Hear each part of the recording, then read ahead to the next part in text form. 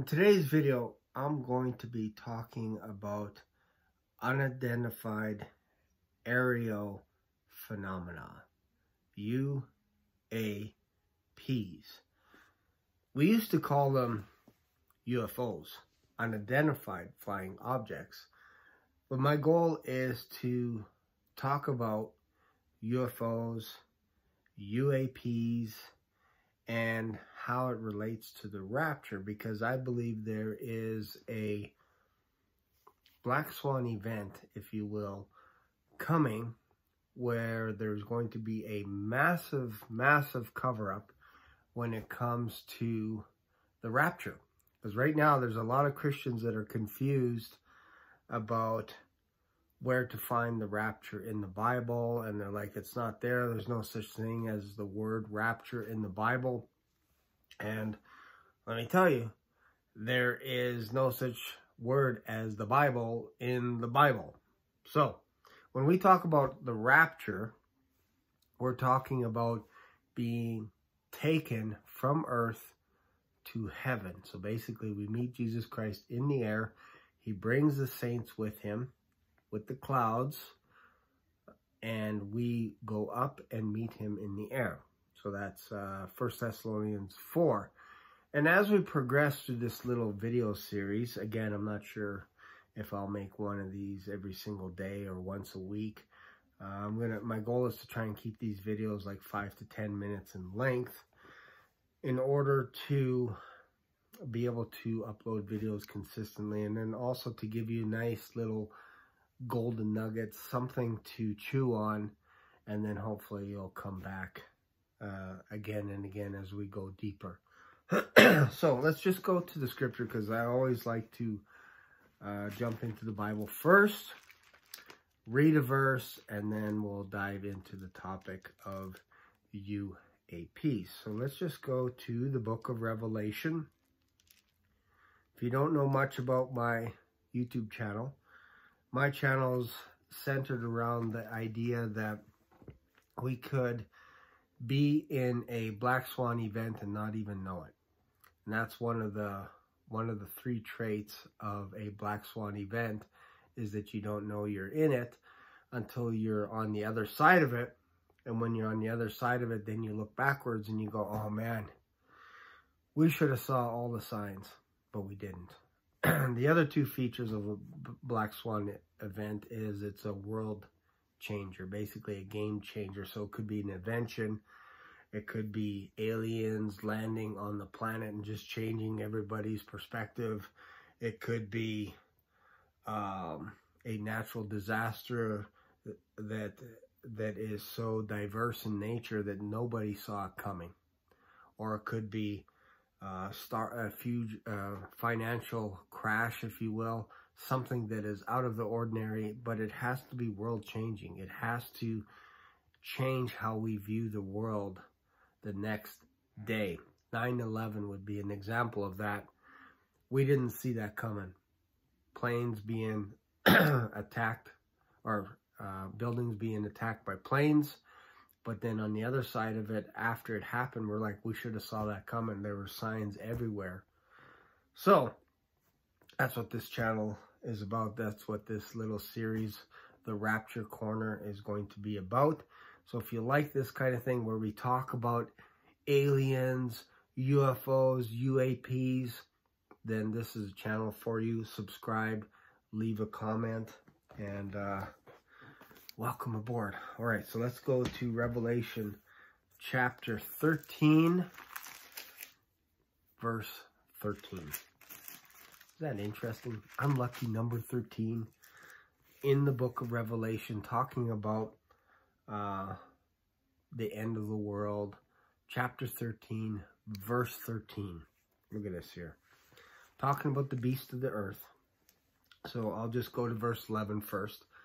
Chapter 13, verse 11. And I beheld another beast coming up out of the earth, and he had two horns like a lamb, and he spoke as a dragon and he exerciseth all the power of the first beast before him, and causeth the earth and them which dwell therein to worship the first beast, whose deadly wound was healed. Keeping in mind, we are not here.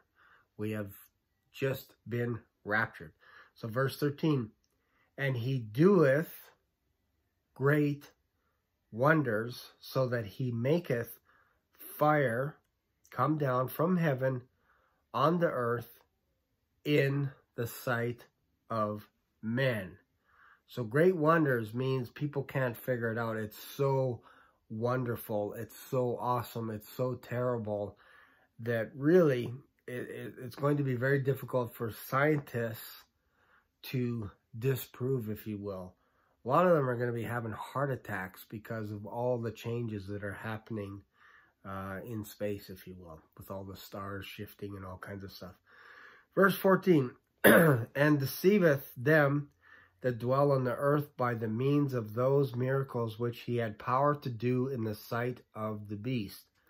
This is the false prophet.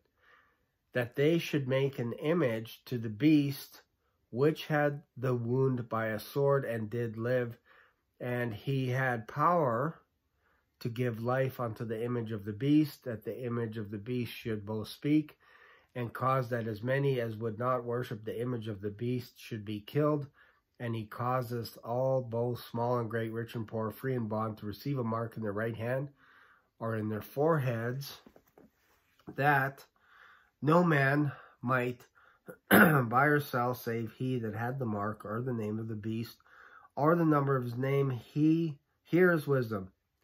Let him that hath understanding count the number of the beast, for it is the number of a man, and his number is six hundred three score and six. So we're talking about the Antichrist here. So we have the false prophet that is creating signs and wonders.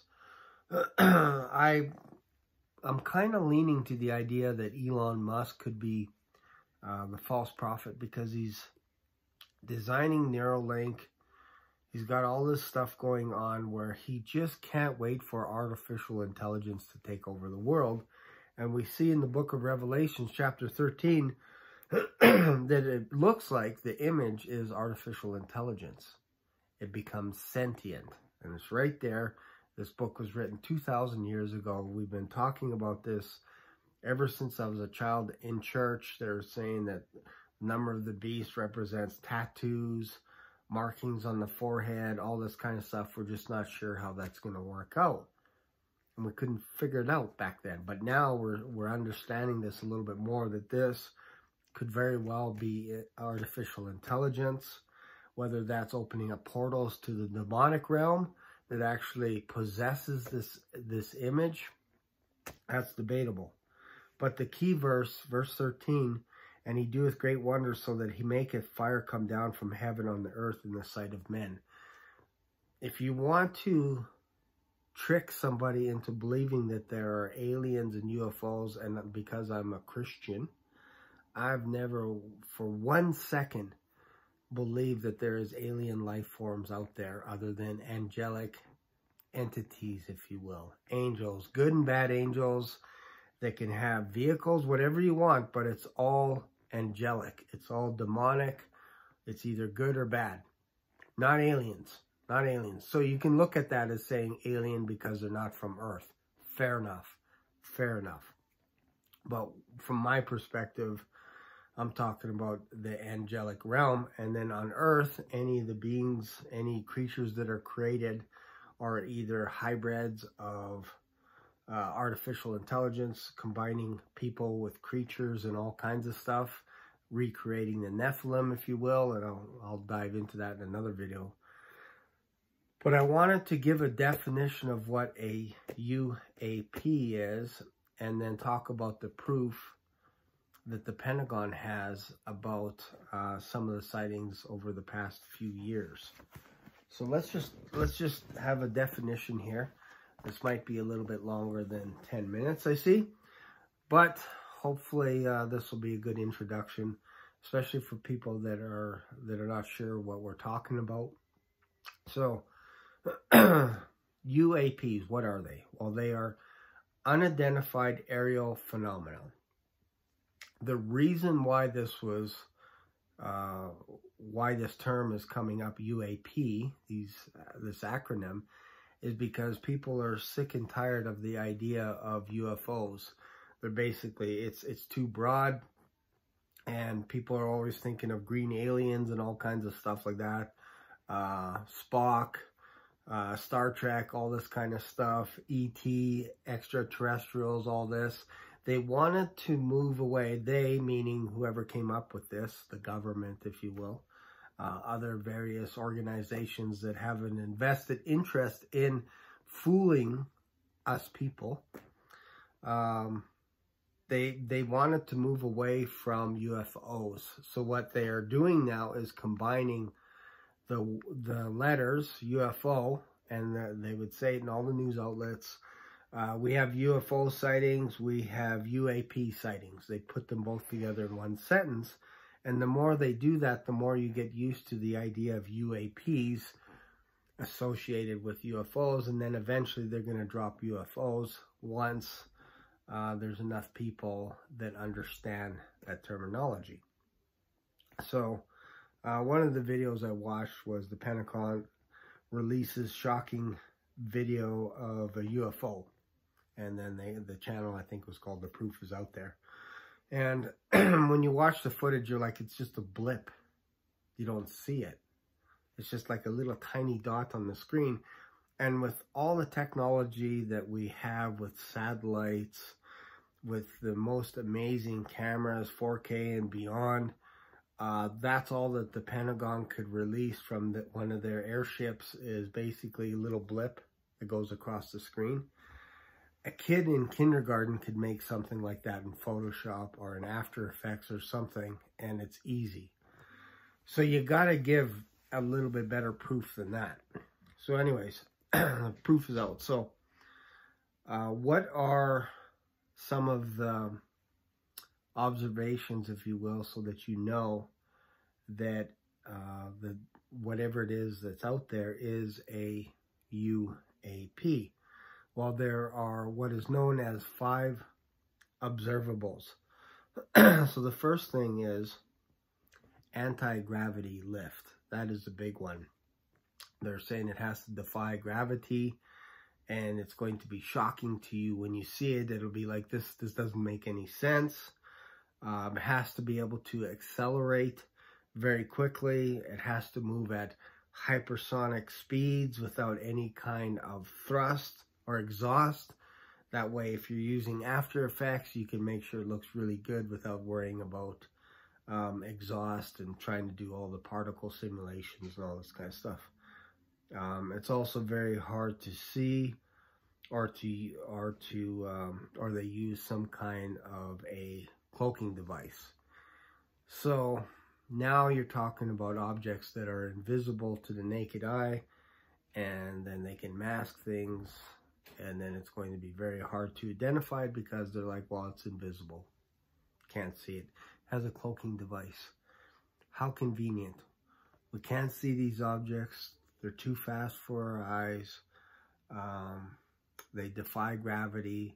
They go straight up in the air, so we can't see them. They're so fast. They come out of the water. That's that's another that's another observable um, event, if you will, is that they have to move from water to air seamless, seamlessly. So again, they go to Mach speeds without visible propulsion. Um, the majority right now, the majority of the sightings are from military vehicles, meaning it's an inside job right now. the government obviously has the military so they can just send people up in planes with their cell phones. Why they would do that when they have the most amazing cameras to be able to do surveillance over other countries like China, Russia, Ukraine, but they're going to send the military up using their cell phones to take imagery, videos, if you will, of these uh, UAPs, because that's the best that we have to offer. So when you see that happening in the news over and over again, um, it's going to be a little bit tough to buy un until you start getting used to it. So because right now we're not used to it, and especially most Christians don't believe in aliens, really. Let's just be honest. So when we see this stuff, we're like, this is just all make-believe stuff. They're just, they're creating some kind of a convert, uh, what do you call it? A cover-up, a strategy to um, put a veil over our eyes. And one of those ways to do it is to continually feed us with information that you can't prove. I'm not saying that it isn't real. I'm saying that it's hard for us, the public, to prove it because when we look at it on screen, we're like, oh, that's just a blip. They're like, yeah, but that's that's alien technology. They have a cloaking device that we can't, so we can't see it. So they're also going to be using words like here on earth and just keep hammering subliminal messages to you so that you get the idea that we're talking about here on earth and we're talking about aliens out there. And the more they say it, the more they talk about aliens, uh, studying our military, studying certain buildings, you're going to start getting used to that in the media. And really, it's only been in the last few years. So what they're really pushing right now is uh, the Pentagon to give us explanations. Because that seems to be the only the only people on the planet, not scientists, but government agencies that can that can help us understand what these UAPs are. So what we'll also be seeing in future videos is going to be things like they're going to be saying things like it could be alien, it might not be alien, but it looks like alien because it's not from Earth. Um, who knows? Just to put that, plant that little seed of doubt in you. Um, then they'll say things like it's definitely unknown. Definitely. Not 100%, but it's definitely unknown.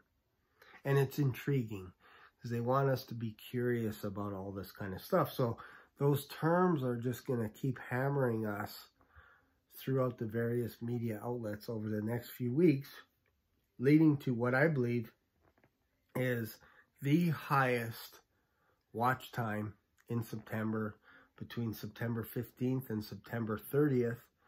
And this is all gearing up to the idea that, let's just say the rapture had happened. If you've been hammering this stuff in the media for weeks and months, you could easily say, aliens, we just found out, the Pentagon just released this data, that aliens have been targeting uh, military bases. They've been targeting our planes, our aircraft. So what we're doing is we're going to be uh, monitoring the aircraft as well, making sure that our flights only happen at certain times of day because we noticed during certain times in the evening that these aliens are really watching us.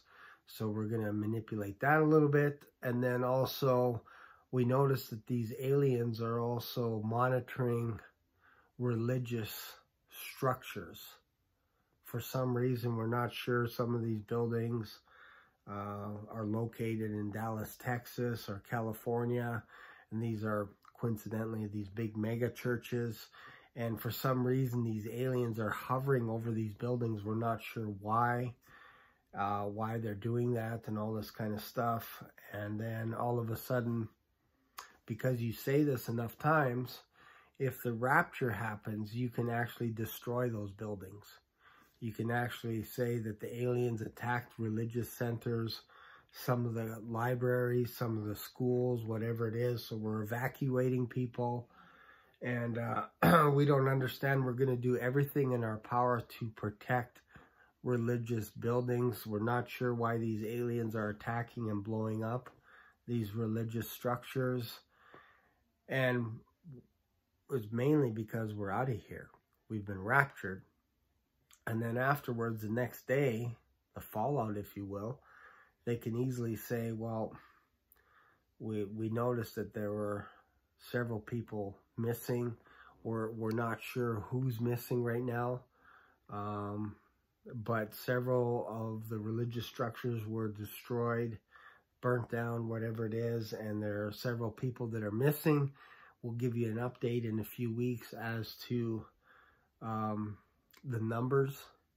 But what we have right now is for some reason, the alien entities, if you will, are now going towards bridges and they're going towards um, high buildings downtown and all this kind of stuff. So we're keeping an eye on that. And then also maybe um, structures out on remote islands or up north. Maybe they're heading towards Antarctica or whatever. But if you start talking like that, you can actually move people's awareness away from what had just happened. And if you can do that for a long enough period of time and uh, overwhelm people with data, numbers and all this stuff, they'll forget about the rapture because now people are like, oh no, they're actually coming to our neighborhoods, these aliens. so we had to, we got to buckle down and batten down the hatches and stay in our homes for our own protection. Obviously, I'm just guessing right now, but I, I'm, I'm trying to paint a picture as to how the masses can be manipulated by saying these aliens have actually destroyed religious centers, they've abducted people, we're not sure who got abducted, how many, all this kind of stuff. But it's really everyone that believes in Jesus Christ is out of here. My humble opinion. So I think this, you need a interruption like this to cause mass chaos so that the Antichrist can show up in the world with artificial intelligence and say, we need to clean this whole thing up because we're going to be monitoring the stars space, everything out there because things are going on in order to protect you, the people, because we don't want more people kidnapped, taken by these aliens, which is really the rapture of the church. So that's kind of my humble opinion. I know it sounds like science fiction and stuff, but really when you're watching the media and all this stuff that's going on, all this craziness, like there's so many distractions that you, you don't know which thing to follow, it wouldn't be hard to throw something like this into the mix and say it was aliens abducting people from the earth. And the next time it happens, we're going to protect ourselves and we're going to protect our people because we're, we are the earth. We are the avengers. We're the defenders, whatever you want to call it. So anyways, that's my thoughts uh, for today and and uh, I don't know when the next time I'll post a video like this. Maybe tomorrow maybe next Sunday uh, just depending on the length of this. And uh, if you got something out of this if this sparks something in you uh, then feel free to subscribe to this channel. Feel free to comment leave a comment. I appreciate all your comments. And uh, let me know your thoughts as well. Thanks for watching and I'll see you in another video. Bye for now